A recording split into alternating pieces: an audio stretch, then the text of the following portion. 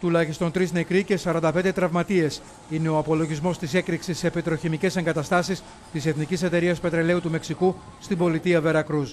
Τα αίτια της έκρηξης παραμένουν άγνωστα, αλλά εξαιτίας της δημιουργήθηκε ένα τεράστιο μαύρο σύννεφο καπνού. Το περιστατικό σημειώθηκε στις εγκαταστάσεις παραγόγων χλωρίου της Πέμεξ στη βιομηχανική ζώνη του Κοτσακοάλκος, ενός από τα σημαντικότερα λιμάνια εξαγωγών πετρελαίου της εταιρείας.